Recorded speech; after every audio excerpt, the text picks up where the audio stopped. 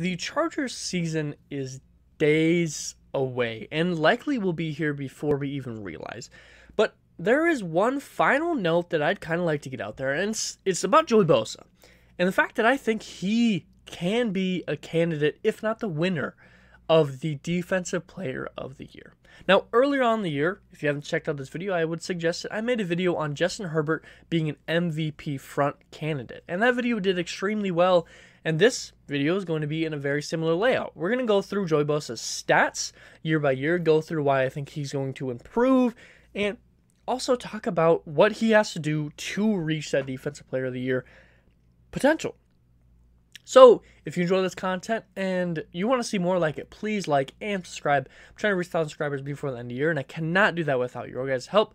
But let's not waste any more of your time. Joey Bosa for Defensive Player of the Year. That is the whole topic of this video.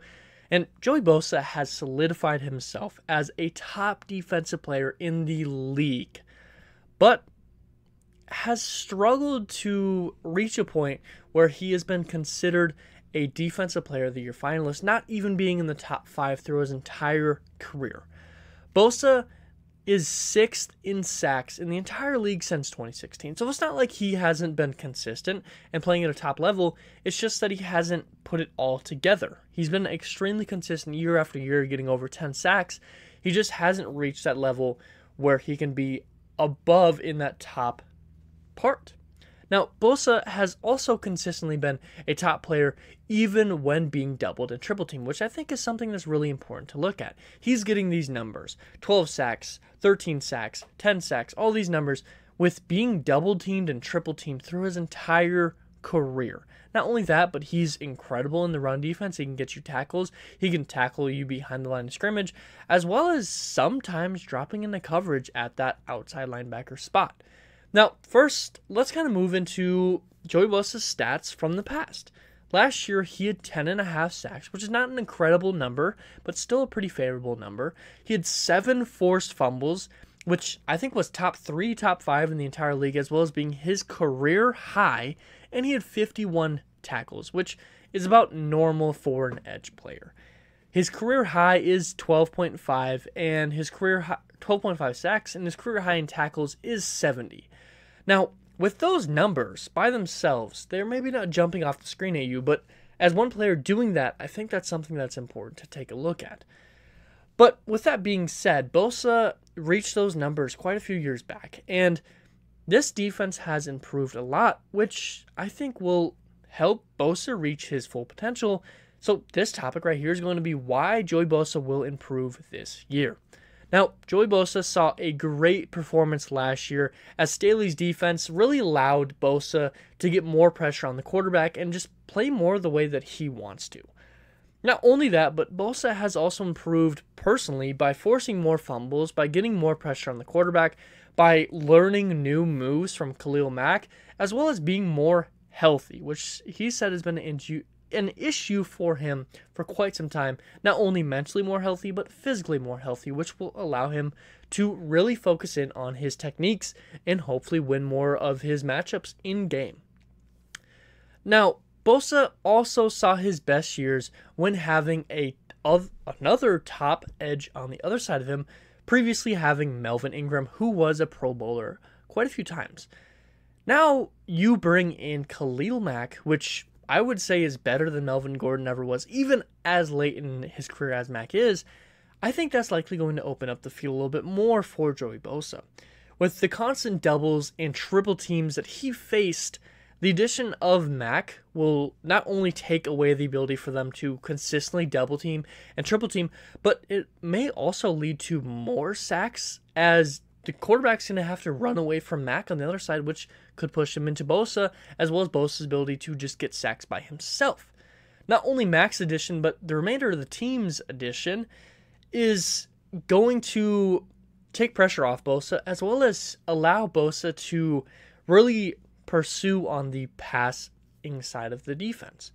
With the terrible rushing defense that the Chargers had last year, they improved it dramatically, bringing in Sebastian Joseph Day, Austin Johnson, Otito Ogbonnia, Kyle Van Noy, and, uh, and plenty of other options, as well as Khalil Mack, who is one of the top edge rushers on defense, having that ability is going to allow for Bosa to really focus in on just being able to pursue the passer on most downs and not worry about having to start a little bit slow because they might be running it.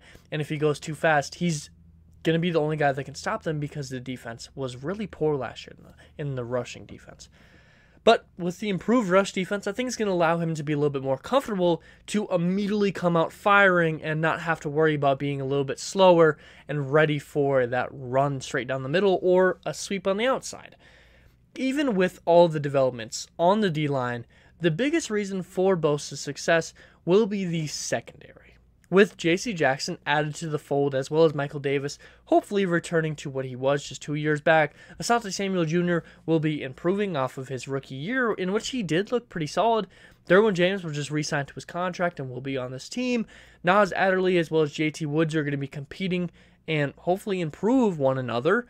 All of these improvements on the secondary will take away open opportunities in the passing game which is only going to give Joey Bosa more time to pursue the quarterback and hopefully go get a sack or pressures, which are also an important stat to look at. So the question is, what will it take for Joey Bosa to win the Defense Player of the Year?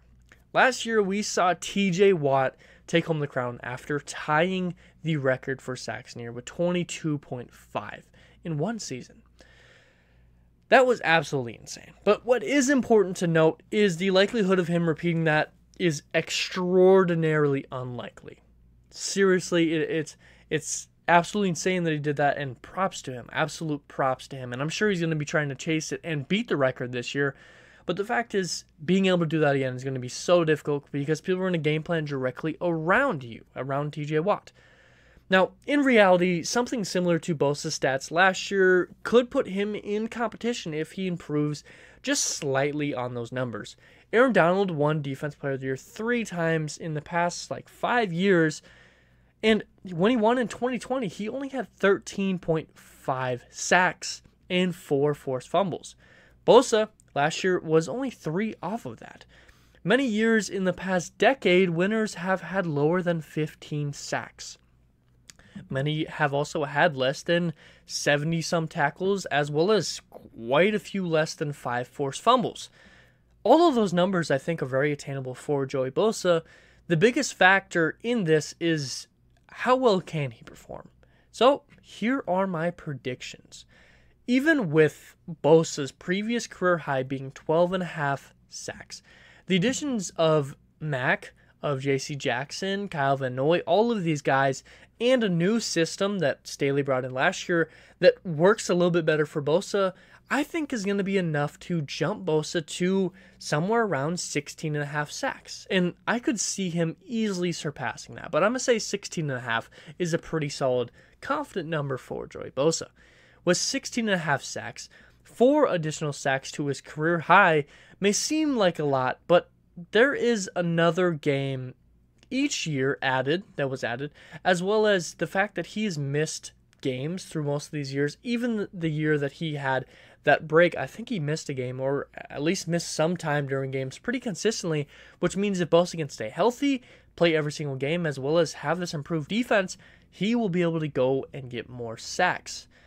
Bosa's seven forced fumbles were a career high but with his new techniques that he talks about in his press conferences, constantly reaching subconsciously for the football to slap out of his hands, I could see him easily attaining this number again.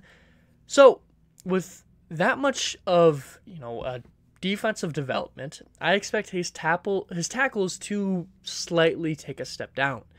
But with great sacks at 16 and a half and forced fumbles that are likely going to be right at that 7 range, he can still take this award home. As mentioned a little bit earlier, there's been winners such as Aaron Donald himself that have won with less than 15 sacks. And although last year was absolutely crazy, if no one else goes out and drops 20 sacks, Bosa with 16, 7 forced fumbles, and a solid number of tackles could be enough. But the question now is can he win it? Currently, Bosa sits at sixth in Defense Player of the Year odds right now, right behind his brother at fifth. And although odds aren't really important to look at, I do find it intriguing to take a look at, see how other people's are seeing it, maybe insiders who might have a better insight on how a defense might be ran, how people will scheme around it. And having him at sixth is is pretty solid the way it already is. It's tough to argue that Bosa can knock off Aaron Donald or TJ Watt, who has been on a tear in recent years. And TJ, who just took out the took over the year, oh my gosh, took over the league last year. Sorry about that, guys.